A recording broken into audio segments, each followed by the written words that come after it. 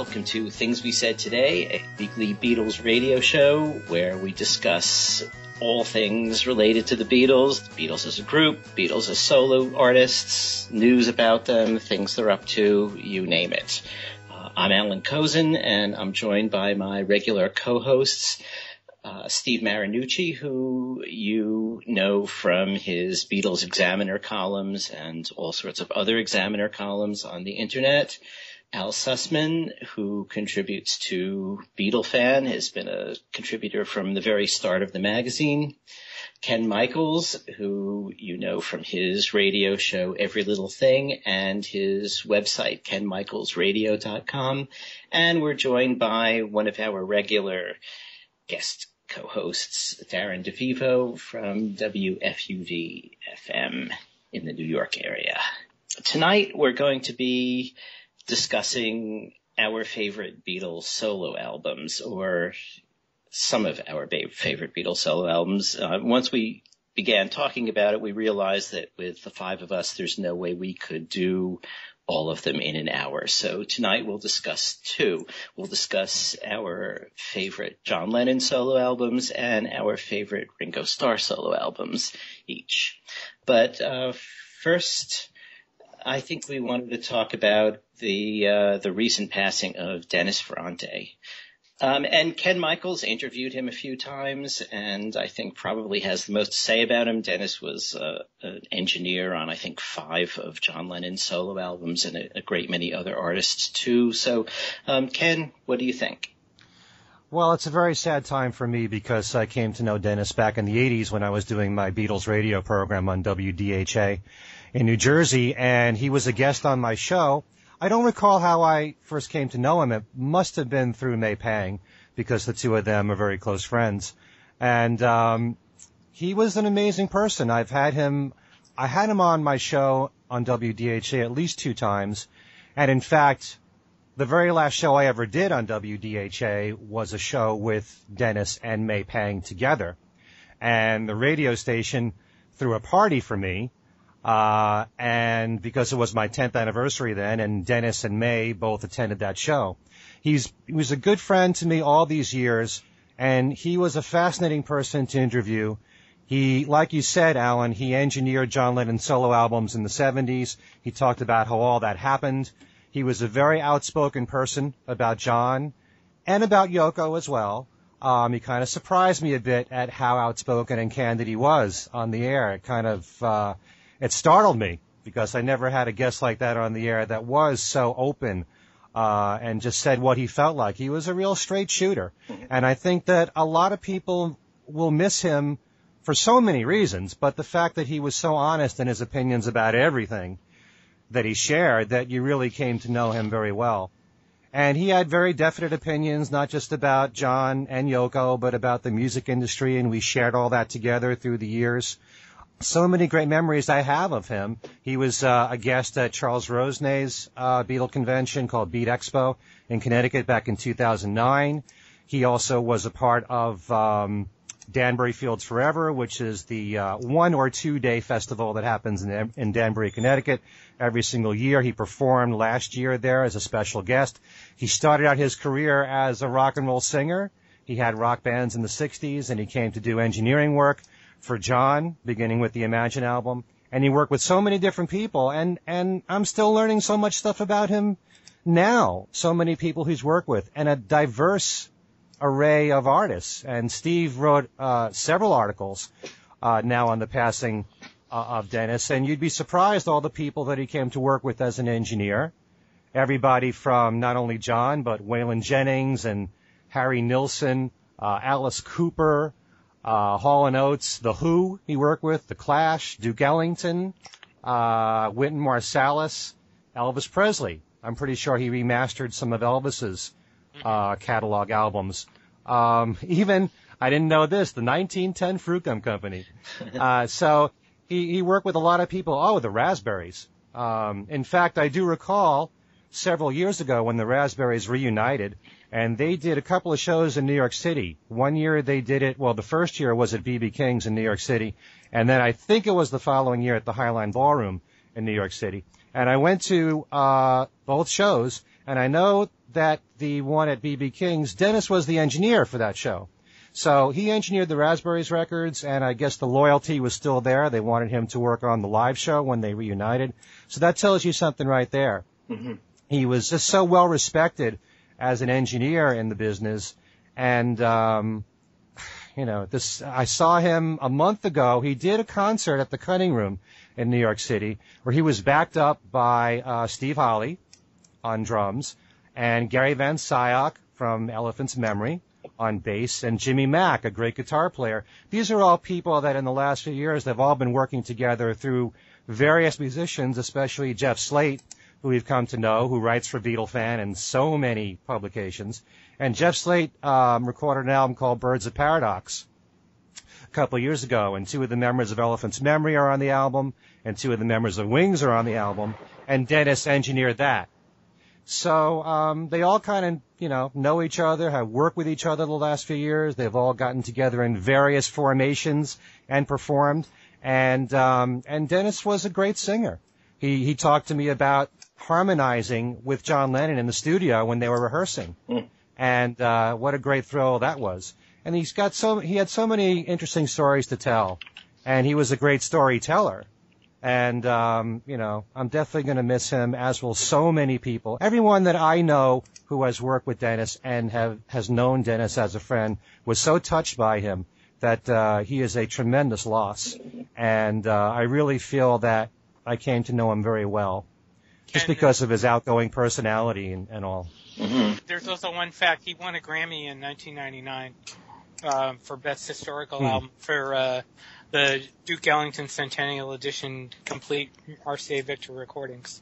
Mm-hmm. So that's also, and that, that, uh, the Recording Academy issued a statement yesterday, um, you know, to pay tribute to him. So, but that's all, that's uh, also important uh, to mention that too. Ken, how old was uh, Dennis? And I understand he had some heart problems, and that's uh, what he passed away from. Well, all the reports that I've that I've read didn't give his age, but I would guess because he started working on the Imagine album early 20s, so you'd have to figure probably around 65. And yes, he did have heart problems, and yes. there was a, a benefit concert um, at the Highline Ballroom several years ago to raise money so that he can get a heart transplant. And I know that in in uh, just recently he was still on a waiting list for it. Mm-hmm. So, and the thing about him, I mean, he was operating on 20% capacity with his heart. Mm-hmm. Wow. And even still, he was determined to keep on living and keep on working. And, you know, he started out, like I said, being a rock and roll singer. And that, and that he loved doing. He loved especially a lot of the great classic rock and roll of the 60s. And when you saw him at the cutting room, he was singing all the songs that he loved. You know, Mustang Sally was like, it's, it was almost like his signature song. Anytime there was a party and Dennis would sing, he'd have to do Mustang Sally. So uh, he did all kinds of stuff. In fact, a lot of it's online on YouTube uh, from that concert. So, Especially "Don't Let the Sun Catch You Crying," the Gerry and the Pacemaker song, which he did so well. So, so Ken, are you going to include some excerpts from your interviews on your website during the week, or you you have something planned uh, as a tribute? Uh, yes, I do. Actually, on my live broadcast, which is on Wednesday on the 10th, which is going to be too late as this is being posted, I'm going to play some of the clips of my last interview with him, which was at Beat Expo in Connecticut. Uh, that was in 2009. And I'm also going to place those clips on my website at kenmichaelsradio.com. And there's a page that I have on there because I have so many interviews now on my website. It's on the third page of my interviews. So it's called Interviews Page 3 if you want to look for it. Okay. And I will be digging up my older interviews. I mean, I haven't heard that last show at WDHA since it was broadcast. And we're talking 22 years ago. Mm-hmm. And it's going to be fascinating for me to listen back to that, especially to have Dennis and May Pang together. So uh, at some point very soon, I'm going to be posting that as well. Okay. So on to the main subject. Uh, shall we start with John, seeing as he was in the group first and all? um, seeing, seeing as it, as it was his band. that's it. Okay. All right. So, um, who wants to start?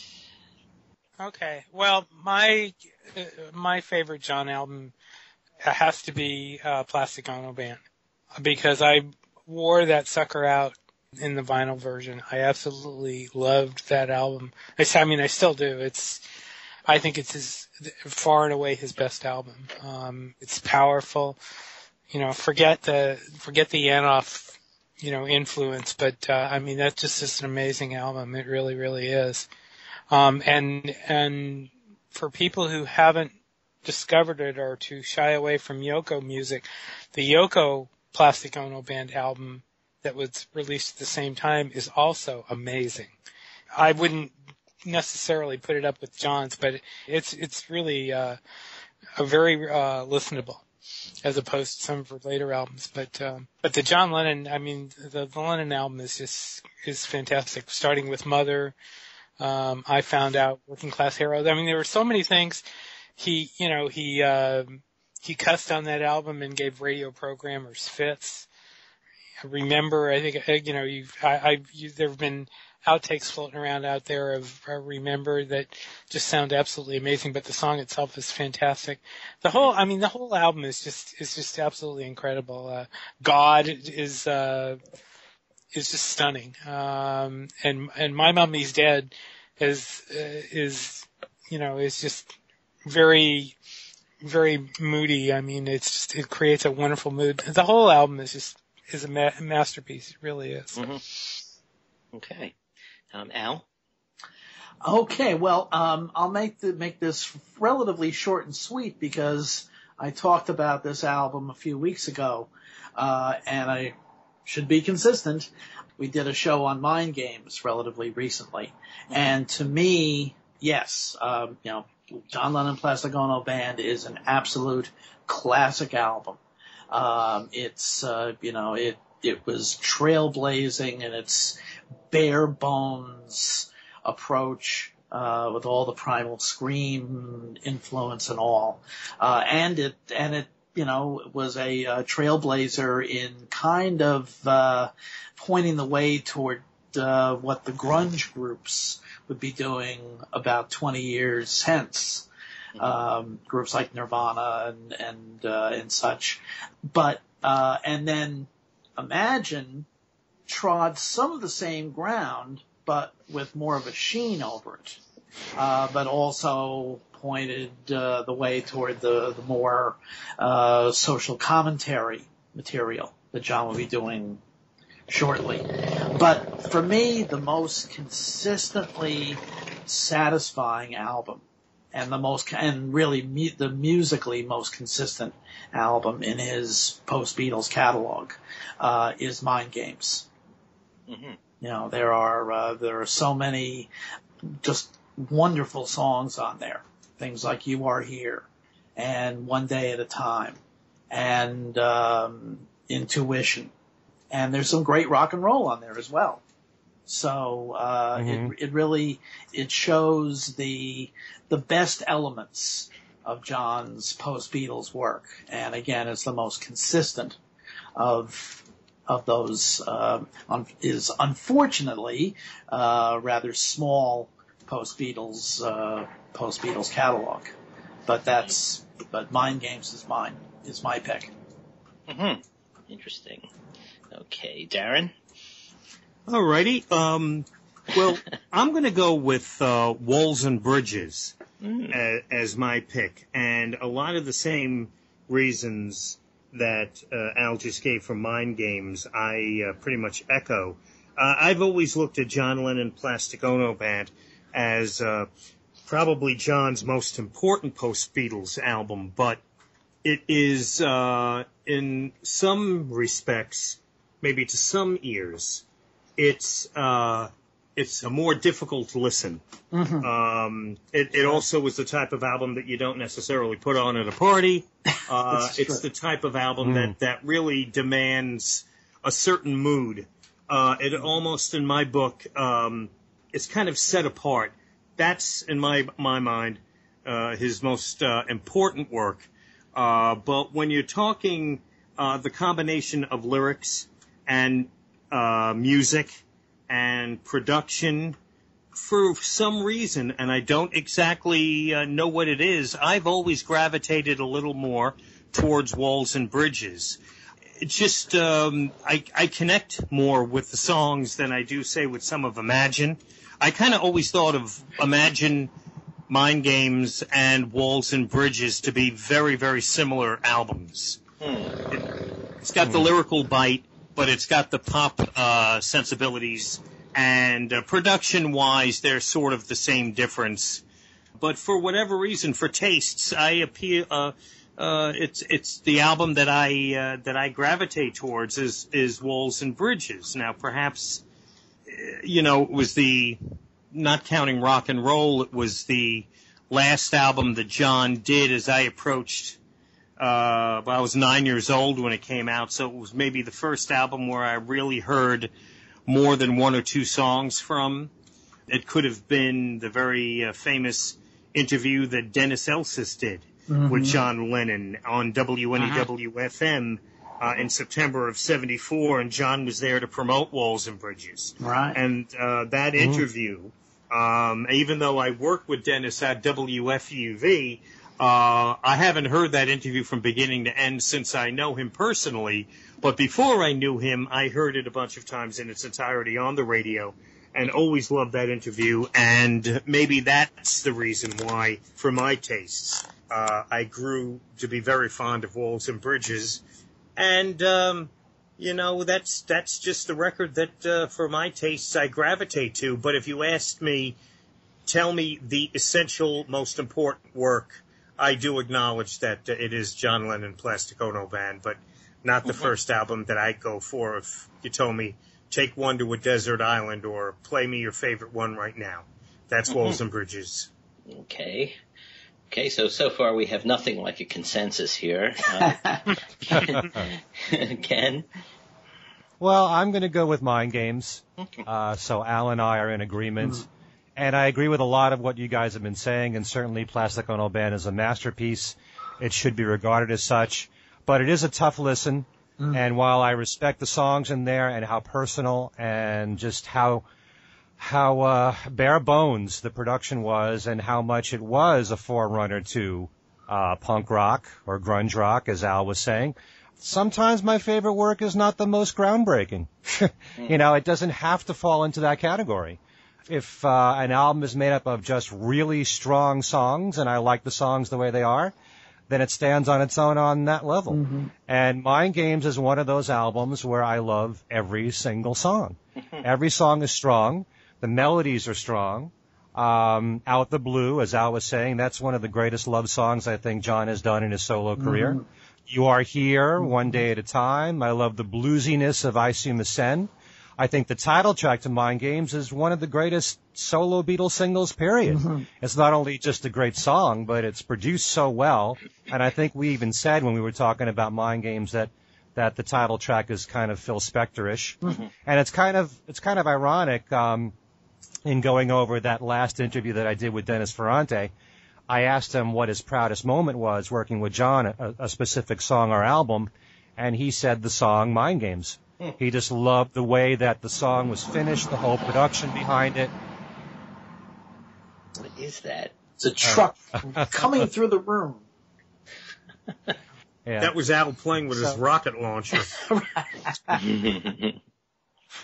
but um, the production behind that song is fantastic, and uh, Dennis was talking about how so much was built around the, those three notes, the da da da da you know, over and over again, and he really loved it. Like it was like a mantra mm-hmm. throughout the song.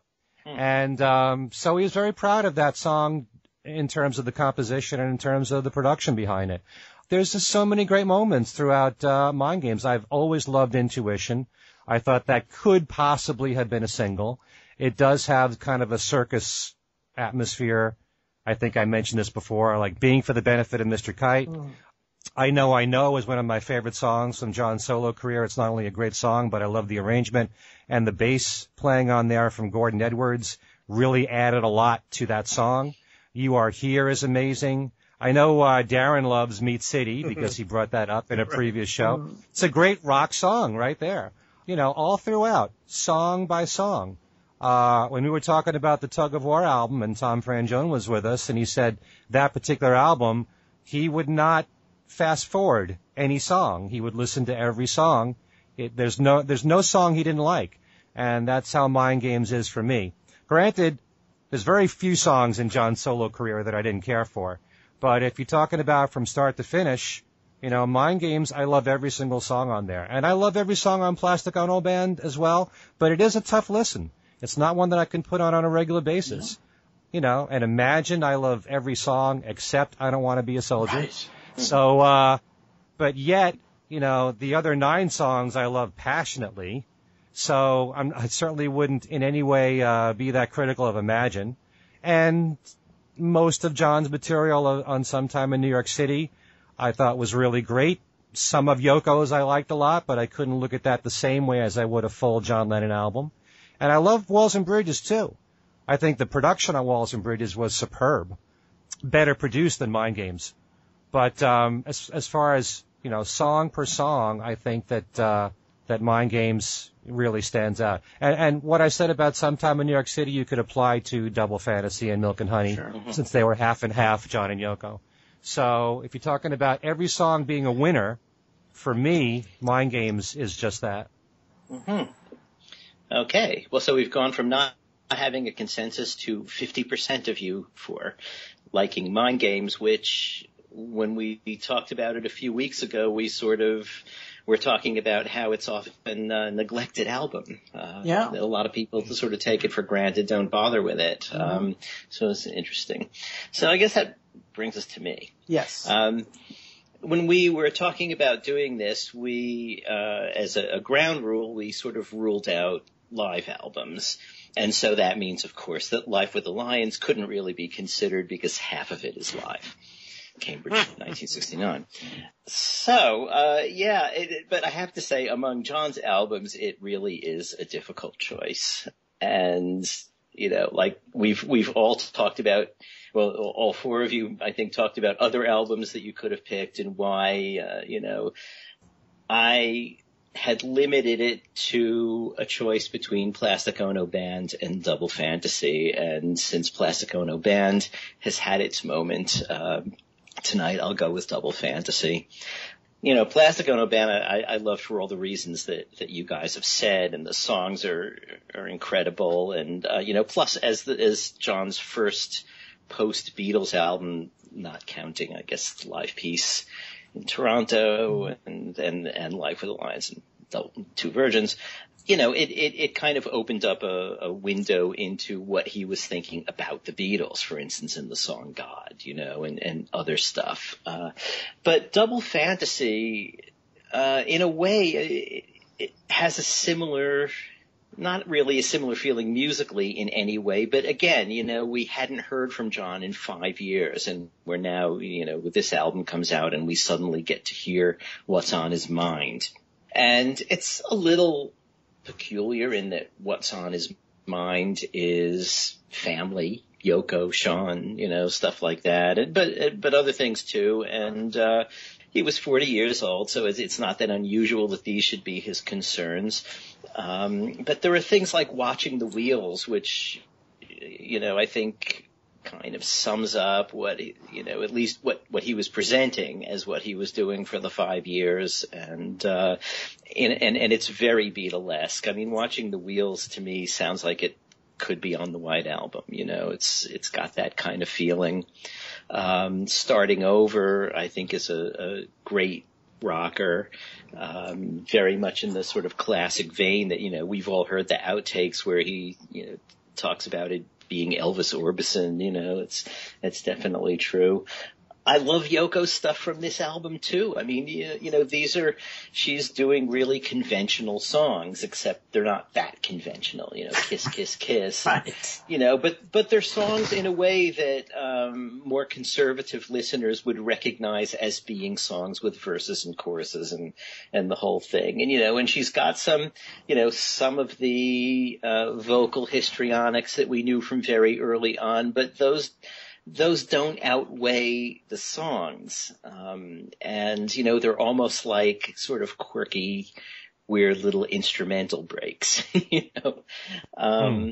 you know, the band is really cooking, and uh, you know, I don't know. There are a lot of you know, in in in certain of the more recent Lennon biographies, there's this sense that all of this was really just a a facade. It has nothing to do with what John and Yoko were really up to and the and the whole mm-hmm. thing. And I, I don't really care. You know what? It's uh-huh. a good story, and you know, John is what John would say in interviews is, well, you know, I don't want to write about Ziggy Stardust. I want to do, uh, you know, I want to do what we're doing.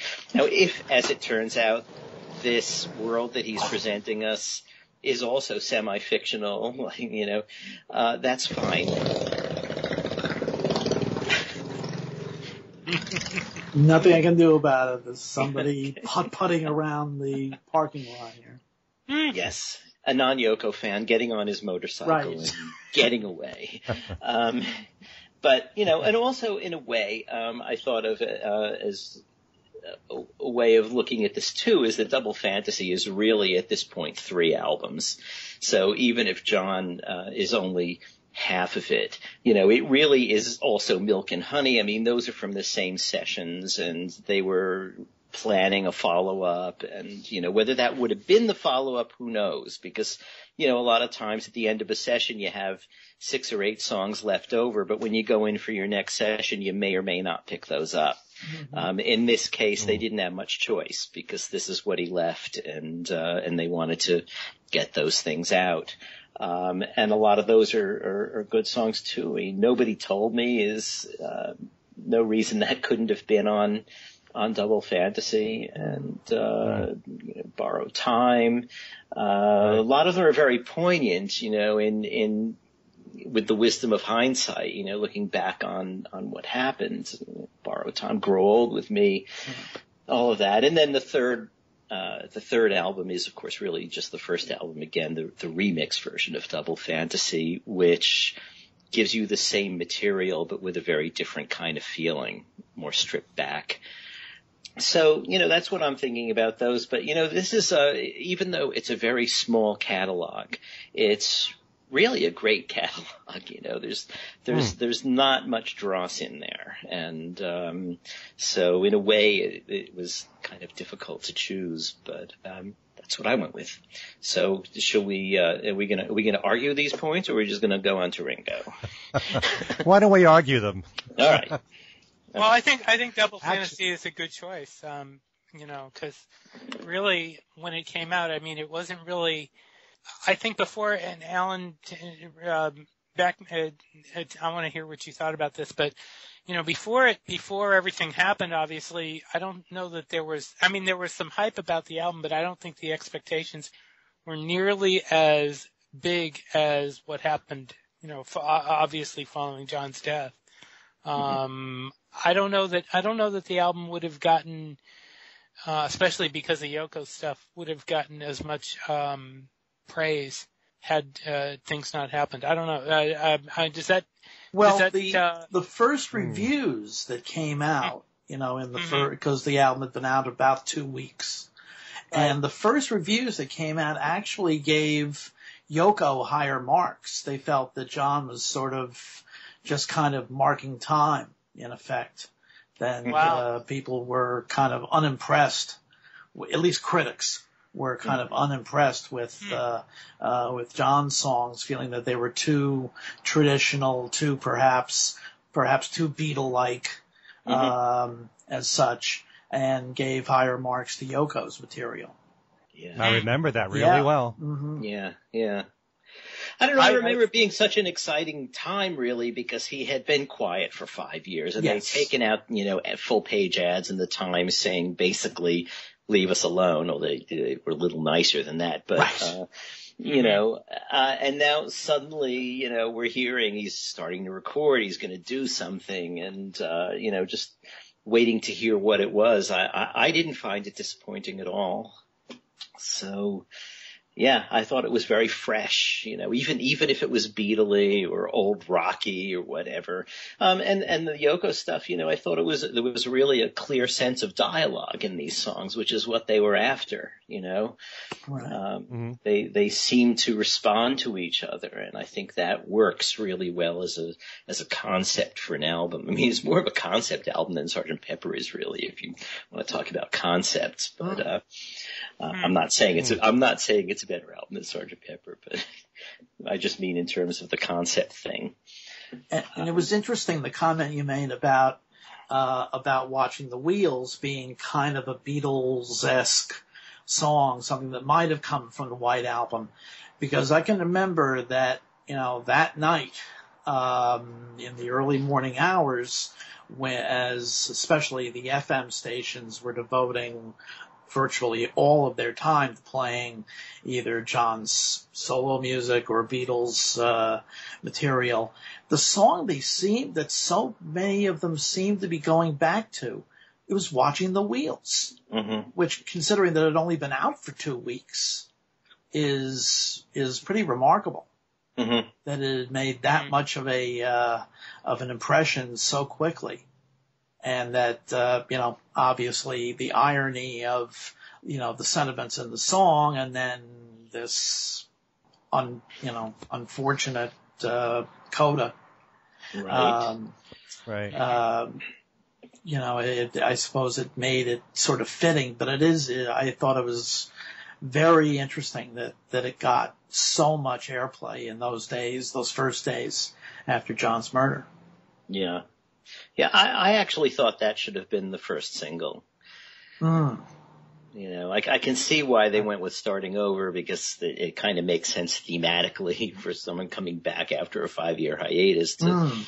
release a single called just like starting over. But, but I liked watching the wheels as a song much better, you know.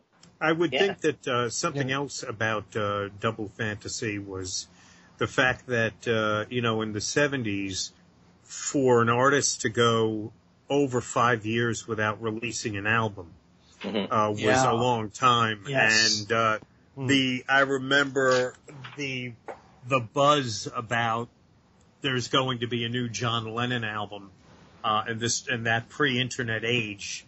What little buzz you would that you'd get uh, advanced buzz on something like that. Uh, I remember there being a, a great build-up to it, uh, which is now clouded, unfortunately, by the events of a few weeks after uh, release.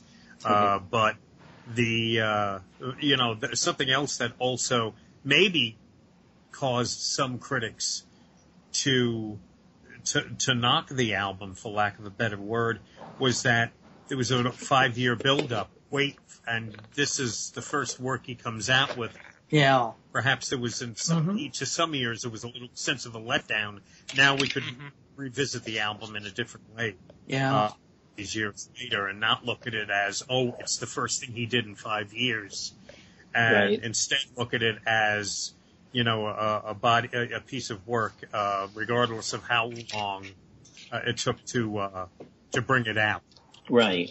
Yeah. I, Yeah, I, I- I- I'm not sure I'd look at it as having taken five years to do. I mean, most of that time he was, so far No, as any no. of us knew, he was retired, sort of, you know. No, no, I, I Mhm. think I, you know what I was trying to say was that the the build up of you know what's he going to do? What's what's this first album in in so long because it was such a long time. Right. Today it's it's not unusual for an artist to Right. like, that five years go between albums. That when the album finally did come out because it actually was those sessions kind of did happen pretty quickly if I'm not mistaken. Mm-hmm. You know, the summer Yeah. was already underway when uh, he got down to uh, recording in earnest, and by the fall, enough was finished to put Double Fantasy out. But you know, with the buildup of waiting to see what John would do next, and Double Fantasy comes out, I'm sure some people thought it was a little underwhelming as a result of that. Hmm.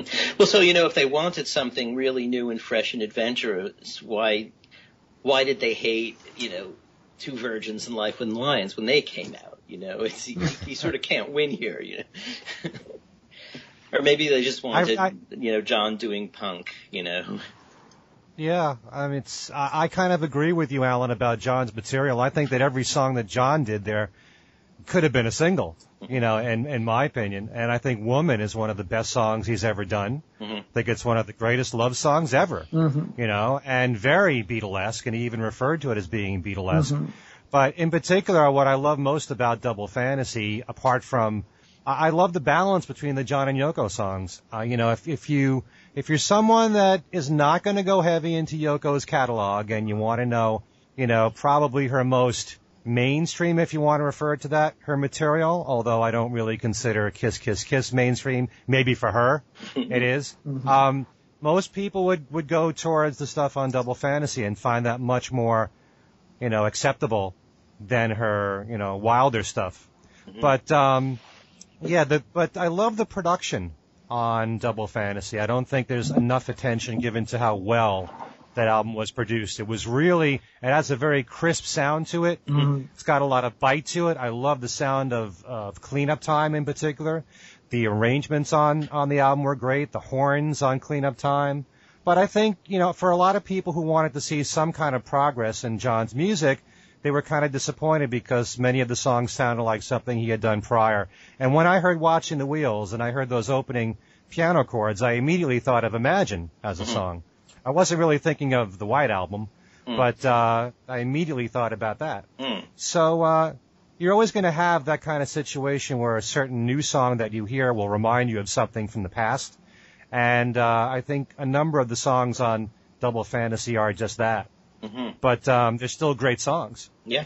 You know, I'm Lo- I'm losing you has so much bite to it. I love that, and I love the version with Cheap Trick too. hmm But uh, the one uh, the one on Double Fantasy was just incredible, and it got a lot of airplay as I remember on uh, on rock stations, even though it wasn't a single. So um, yeah, Double Fantasy was definitely a, a brilliant album, and it and you have to give a lot of the credit to Yoko and the musicians and and Jack Douglas as a producer. hmm Absolutely.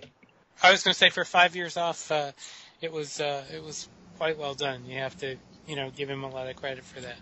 Yeah. Got a got a rhe- rhetorical question. hmm Uh, now we, I think we can pretty much. Obviously, we know why sometime in New York City didn't get any calls on here, and probably the same for rock and roll. But I noticed that Imagine didn't get uh, didn't Yeah. get a vote from any of us. That's right. His most popular album. Yeah, Well, is it really? I think so. I don't know about that. I, I Imagine is his most well known. It's his signature solo song. Mhm. I don't know if I'd call it his most popular one. Maybe. I mean, Walls and Bridges certainly when it came out was did re- really well. Got a lot of airplay on rock stations and not just the singles. So um, it's tough to say. But Imagine, I I cherish that album. It's just that it's a near perfect album. If I don't want to be a soldier, right. was not on there, and there was another song that I liked, Yeah. it could very well have ended up number one. Ah, Um, so, you know, in John Lennon's solo career, there's only two songs I can think of off the top of my head that I didn't care for. So I think that's a pretty powerful catalog right there. hmm So we shouldn't give short shrift to Ringo, and the clock is ticking away. So should we do it in the same order? Should we start with Steve? sure. Why not? Okay, uh, my my choice for Ringo is why not. Speaking of why not, I'm I'm uh, a little prejudiced because I got to see I got to see a couple of the promotional appearances close up, including the the Grammy um, uh, appearance. And um, but I really like that album. I, I in fact I remember telling um, Edgar Winter I, I said you guys really need to to put uh, fill in the blanks in the in your set, and they and they didn't. but I think that's that's a, a wonderful song, and that would have been a great uh, live song to do. But there's so many others, of course. Uh, Walk with You, uh, even without Paul McCartney, is fantastic. You know, Peace Dream, Peace Dream is is good. Why not is good. I even like. I I don't think anybody else likes Who's Your Daddy except me. But I think I, I, I like it. do you really? Because I, I, Yeah. I, I think that's a great song. Uh, uh, I like the way he and Joss Stone uh, went back and forth on that. I thought that was that was wonderful. Um, I just But I- I, just wish there was more of Ringo in that song, vocally. Hmm. I mean, Josh does most of the vocals. Mm. Right.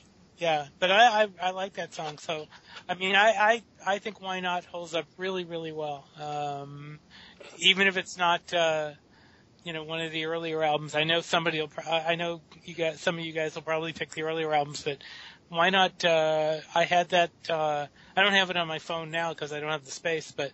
Um, I had that on my phone for quite a while, and uh, I listen to it a lot. I really, really like it. So here we go. Okay. Um, Al, I think was next, right? Uh, I guess so. I'm gonna go with an album that was released within just a few weeks of Mind Games, Hmm. and that is probably the the I would, I would imagine the consensus vote here, and that's Ringo.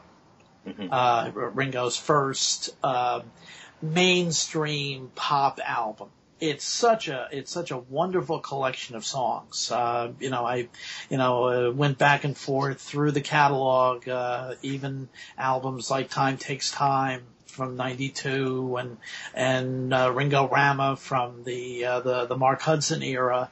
But you just you know when you go right the right to the heart of it, the the Ringo album is is just so good. Uh, just such a great collection of songs. It's also the uh, the only time in the in the lifetimes of John Lennon and George Harrison that all four Beatles um, appeared on the same record after after the Beatles after the breakup.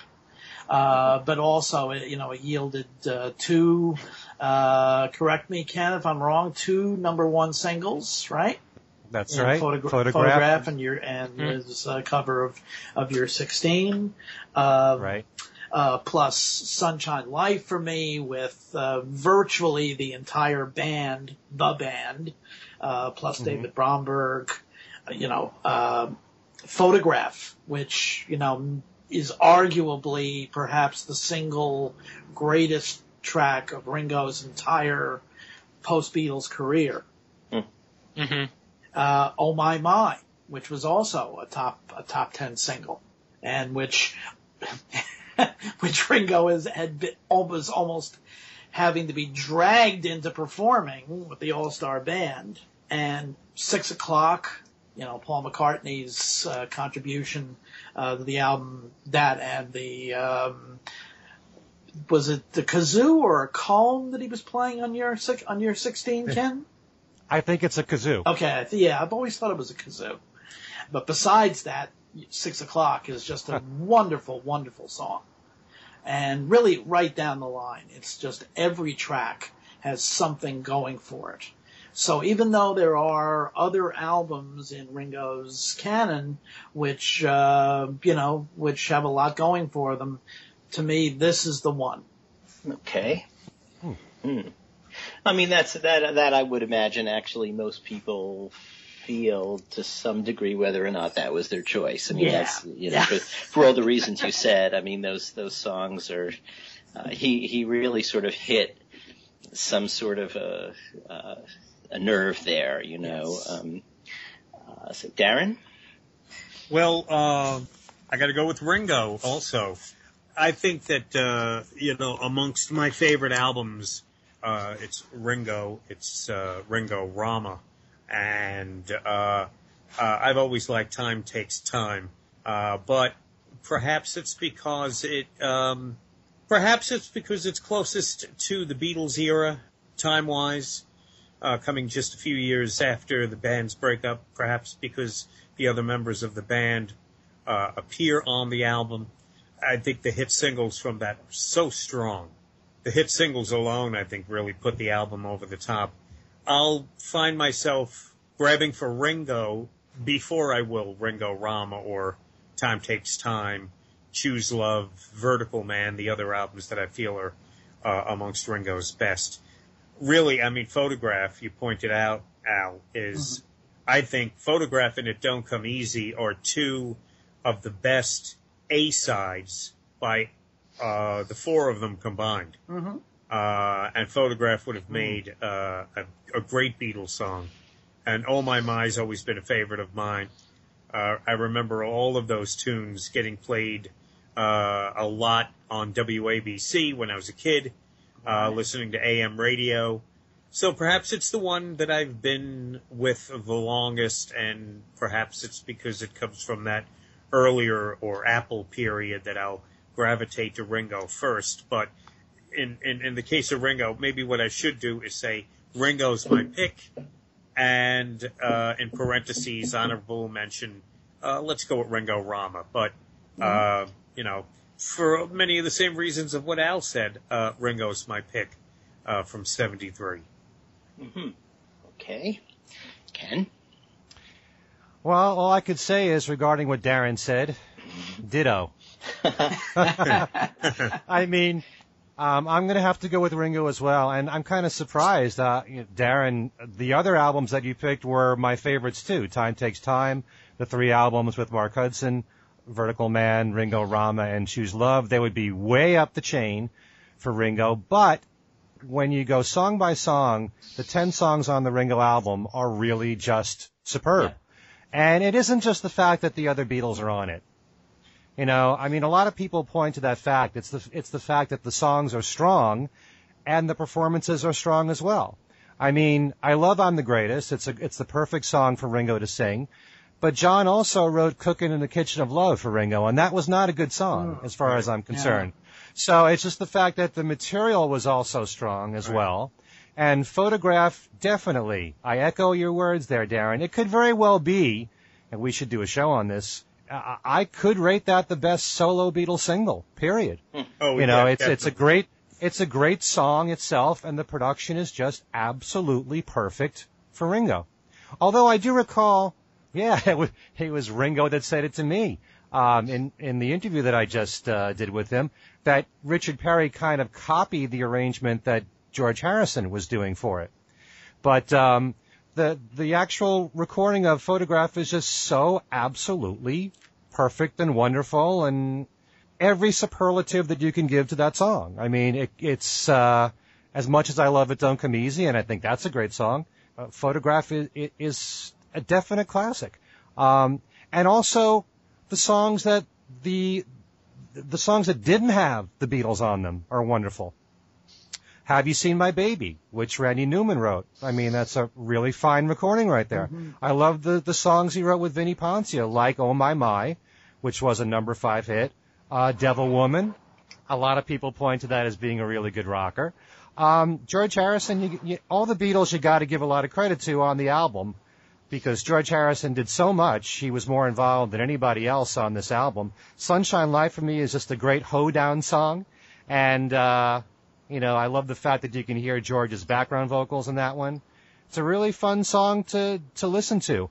And I especially think, and no one has mentioned this, that You and Me, Babe, is one of the greatest yeah. album closers ever. Uh-huh. I, I still keep wishing, and I know it'll never come true, that Ringo will, will close a concert with that. But it's, uh, it's so perfect a song to end an album with and giving all the credits to the people who were involved with the album and the fact that George wrote that with Mal Evans. And I still don't know what exactly Mal contributed in the songwriting. And also, my favorite uh, Ringo song, along with Photograph, has to be Six O'Clock. Mm. Six O'Clock Yeah. to me is just a great, wonderful, melodic pop song, tailor-made for Ringo. I love the whole arrangement. I like the longer version that came out. Um, you know, everything about this album is just it's another perfect album right there. And I would, I wouldn't take anything away from the other albums that I mentioned, but just for photograph alone, you know, you could put this album in as, as the best of Ringo's albums. Hmm. So once you add in everything else, uh, I don't really see how another album can top the Ringo album as much as I love the other ones that I mentioned. Okay, um, I think I'm going to continue my tradition of competing for with Steve for being the odd man out here. Um, Thank you, Allan. uh, it's an East Coast West Coast thing, maybe. It, Um, it must be. I'm going to go with Time Takes Time. I love the Ringo album, and everything you guys said about it is true. But of, of his recent albums, I mean, actually, you know, people think that Ringo's catalog is um, perhaps worse than it is. I, for a while during this week, I was going to go with "Stop and Smell the Roses," which I really like too. Hmm. And that would have been that would have been really odd. yes, well, I mean, there's some good stuff on that, and if you remember those videos that uh, that you know Paul was in and uh, Barbara and his, I mean, there there were some interesting things, and uh, uh, but you know, and also it has, um, well, I think that's that one has Sure to Fall, which uh, you know has sort of ancient Beatles cred.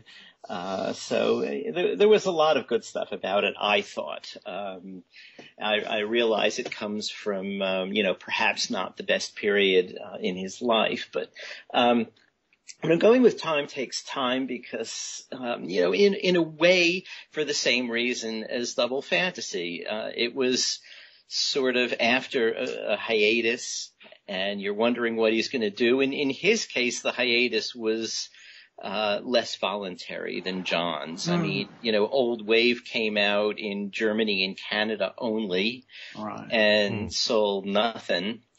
And I think he couldn't get arrested in the record business for a while. Um, he should have gone touring with Paul. Hmm. sorry, sorry. anyway, um, you know, he, he then went and cleaned up and then went on tour with the first of the all-star bands. And then, you know, the first studio production that comes after that is Time Takes Time. And it shows, I think, a, a revigorated, reinvigorated Ringo. Um, the songs are generally pretty good all through. I mean, it's they're not they're not I, I will admit as memorable as Photograph and Six O'clock and and the others, but you know, you know, things like Weight of the World. I thought Weight of the World was a, a great start. Um, don't go where the hmm. road don't go. I think we're, you know, we're talking about what Ringo's got going on in his life. That's a, um, a strong statement. And, uh, also, you know, some of the things that came out as B-sides, Everybody Wins, you know, wasn't amazing, but it was, it was a good song. And also on the on the B side of Weight of the World, he put out a version of Don't Be Cruel, which I thought was a nice touch. Mm-hmm. Um, uh-huh. So I think it was, you know, basically a fun album, um, an album that, you know, again was kind of autobiographical in the in the way that Double Fantasy was, and uh, I I just found that it kind of made me feel that you know, okay, Ringo, Ringo's, Ringo's career will have a second act or a third act, depending mm-hmm. how you mm-hmm. count. And so, you know, I, I still have very fond feelings about that album and Vertical Man and, uh, you know, and some of the others, not, not all of the more recent ones. I mean, you know, they got to sound a little the same after a while. And, uh, but I also, I also really still like that kind of Mark Hudson period, you know, uh, that was sort of the first part of his recent career. Uh, the mm. the post Hudson things too. I mean, they're they're they're pretty good, but um, I just like that period where also where he had the Roundheads. I mean, I, I, I realize this is a mm-hmm. little bit after Time Takes Time, but uh, you know those those shows he did with them, I thought were pretty good, and uh, and and without it being the All Stars, I, I I felt it was a more cozy sort of band sound. Um, but time takes time. Again, I mean that's that I guess is is my choice for this. Although I, uh, whether I would pull that out before Ringo, uh, I'm not sure. I mean this week I did. So there we are. So we we mostly are all for the Ringo album except for me and Steve. And Steve's is why not. and mine is time takes time. So, do we want to look at the reader mailbag, Ken? Uh, I suppose we could. Um, we've had some people writing in regarding our most recent shows, one of which was, um, in fact, I should point out the name Michael Lynch, who not only uh, contributes our music theme here right. uh, for the show, but he's a regular listener and he was a guest on our show when it was just Steve and me. And uh, one of the things that he brought up regarding the show that we did on the Star Club recordings, because Allan and I were commenting about how the Beatles didn't do Love Me Do. Mm-hmm. Considering the fact that it had already been released. It was their first single, and he brought up a very good point, Michael did, which I think was really an oversight on our part, which is that we only got, you know, uh, what is it, an hour to two hours of recorded material here. Mm. The Beatles performed for eight hours minus their breaks. They could have very easily have done Love Me Do Sure. live. This was only part of what they did over the course of, you were saying, two, two nights, right? Allan? Right, right, yeah. Um, I, I sort of thought we might have, we didn't touch on that aspect. I, I thought we might have with it, maybe with something else, but, um, but yeah, that is, that is a good point. Um, they must have played it at some point during that stay. Um, uh, yeah. And not okay. only that, but I, I would also bring up that they didn't perform Please Please Me. And even though it hadn't been released yet, It had been recorded. consider the fact, yeah. So, um, but they did perform Ask Me Why. And yet, Please Please Me was not part of these recordings too. yeah. So that's also, I don't want to call it unusual because we don't know everything that they did in the course of one night. That would be fascinating to see. Mhm. And we do have Mark Lewisohn's book, The Beatles Live, which, which lists all the songs that he was able to research the Beatles performed live on, uh, during certain years, Mhm. but we don't know the set list for an entire night, which would be fascinating to find out. Right. Good I, point. won- I wonder if he might have found out during the uh, in the research he did for for uh, for Tune In. I wonder if he might have found out more of the material that they did during that last Star Club engagement. hmm Since, Well, the first chapter, all these years, ends at the very end of 1962. yeah, exactly. So, so we would have known something, I think, by now, Right. Mhm. since he released the book. Yeah, but he doesn't, you know, he doesn't reference that, and there's never been a an updating of uh, of the Beatles live. Although I should actually I shouldn't say that because the complete Beatles Chronicle was kind of an updating of it. Right. Right. Okay. All right. Unfortunately, we have to cut this program short because we lost Darren's signal in this wonderful thing called Skype. And we tried bringing him back, but it didn't work. So, if you would like to get in touch with us and comment on this show or any of our past shows, or if you want to pass along an idea for a topic for a future show, our email address is things we said today radio show at gmail.com. And if you could, please friend us on Facebook on our Things We Said Today page.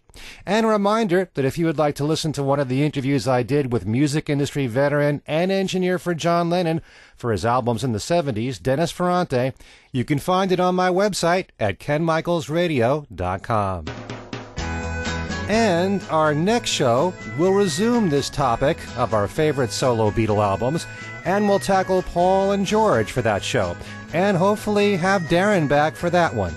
So, for Al Sussman, Allan Kozinn, Steve Marinucci, and Darren DeVivo, this is Ken Michaels saying thanks so much for listening. God bless Dennis Ferrante, and we'll see you next time.